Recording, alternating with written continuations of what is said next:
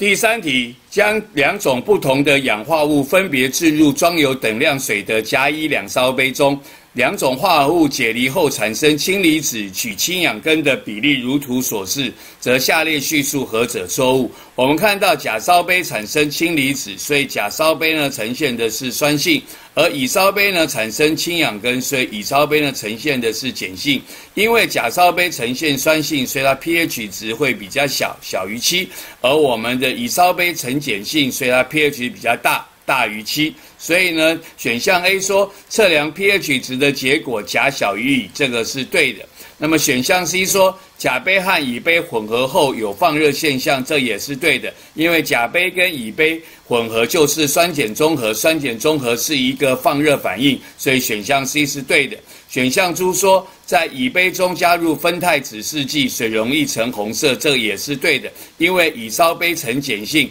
酚酞在碱中呢呈现红色，所以选项 C 说乙杯加入酚酞指示剂，水容易呈红色是对的。选项 B 说。甲杯和乙杯混合后，水容易呈酸性是错的。我们看到我们这里边的氢离子呢会比较少，而这里的氢氧根会比较多，所以甲跟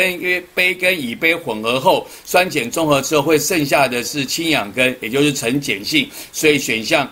B 说我们会水容易呈酸性是错的。第三题问我们说，则下列叙述何者错误？我们答案选的是 B，甲杯和乙杯混合后，水容易呈酸性。